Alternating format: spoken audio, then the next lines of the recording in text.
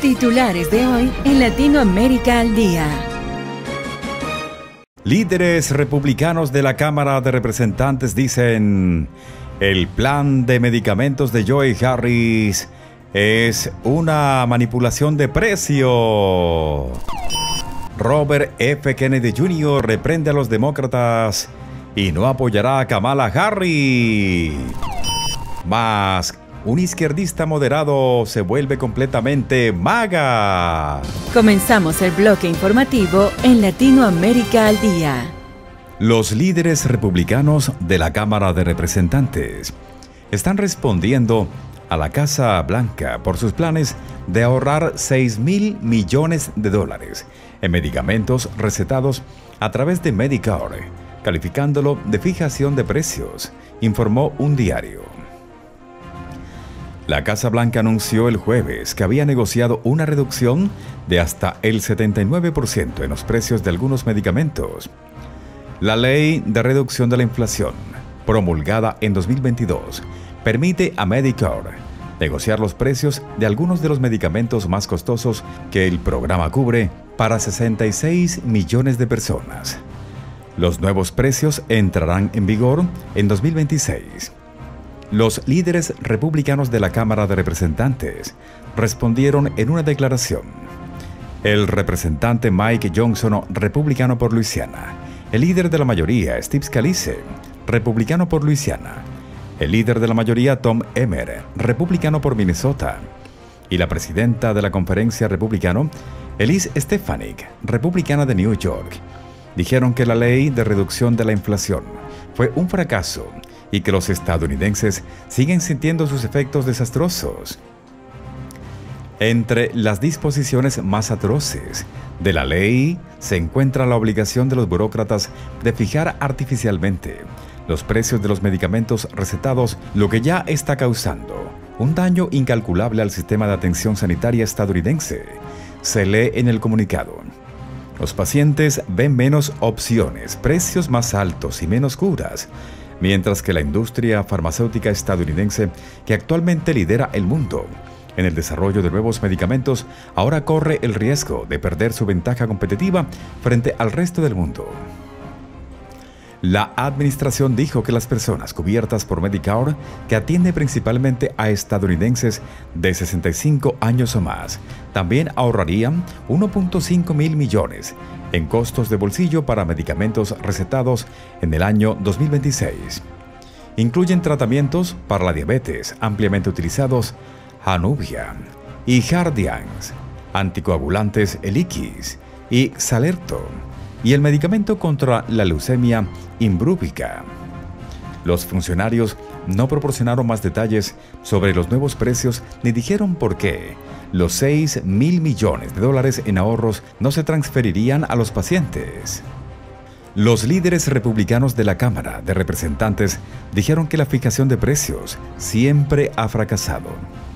La administración Joe Harris dice que quiere bajar los precios para las familias, pero su plan de fijación de precios de medicamentos recetados ha logrado solo dos cosas.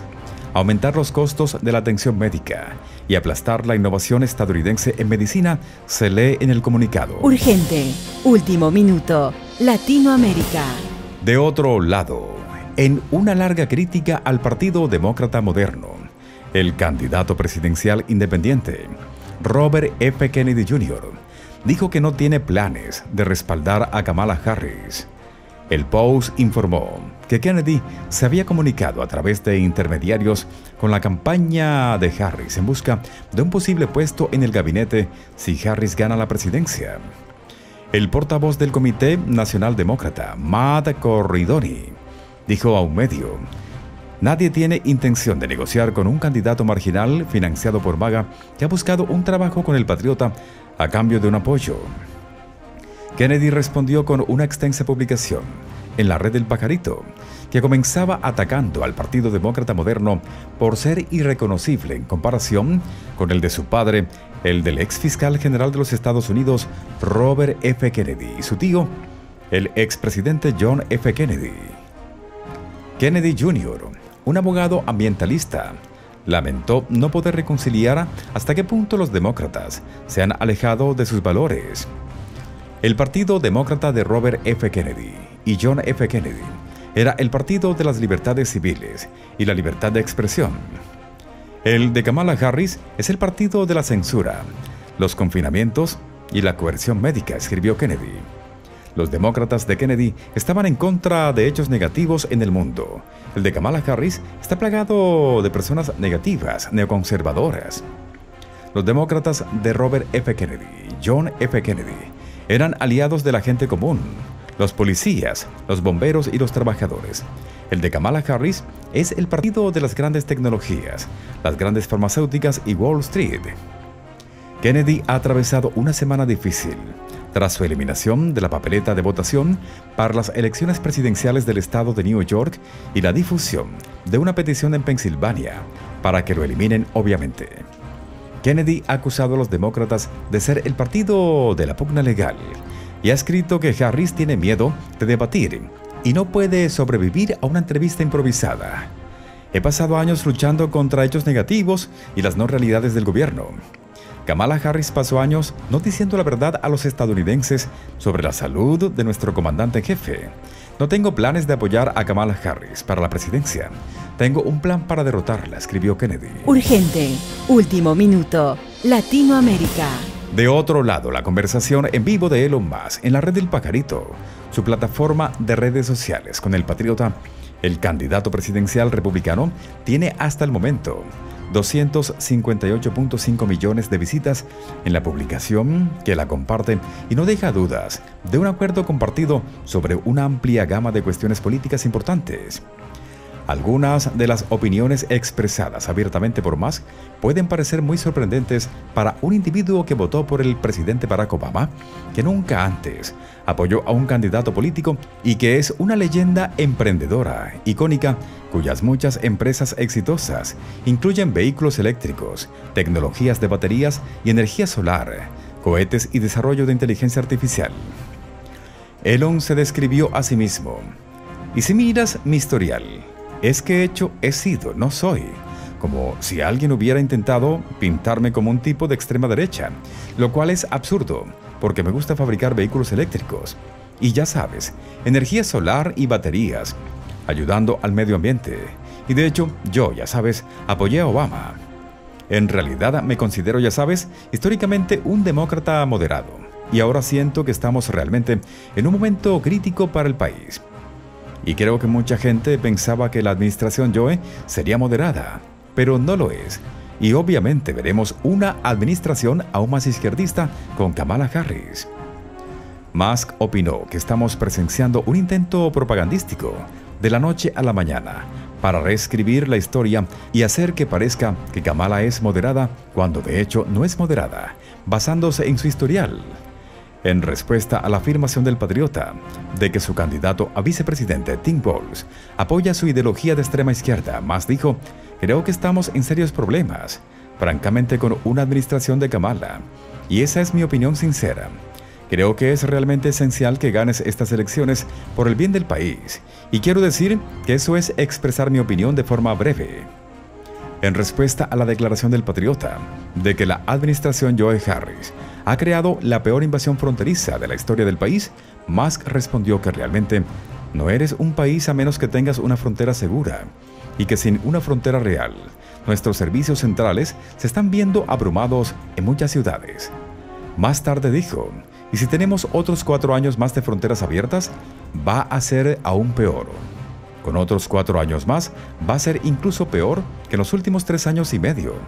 No estoy seguro de que tengamos un país coincidiendo con el patriota, en que la invasión de la frontera no es solo un asunto de México. Más observó que no es un asunto de toda la Tierra, simplemente no es posible para Estados Unidos absorber a todos los habitantes de la Tierra o incluso a un pequeño porcentaje del resto de la Tierra. Simplemente no es posible. En cuanto a la onerosa inflación estadounidense, más dijo, mucha gente simplemente no entiende de dónde proviene la inflación. La inflación proviene del gasto excesivo del gobierno, porque los cheques nunca rebotan cuando los emite el gobierno. Entonces, si el gobierno gasta mucho más de lo que ingresa, eso aumenta la oferta monetaria. Al ofrecerse como voluntario para servir en una comisión de eficiencia de la administración Trump, para determinar dónde el gobierno puede recortar el gasto innecesario, dijo, Actualmente estamos eh, agregando, creo, un billón de dólares al déficit aproximadamente cada 100 días. Y como sabéis, los pagos de intereses de la deuda nacional ya han superado el presupuesto de defensa. Son del orden de un billón de dólares.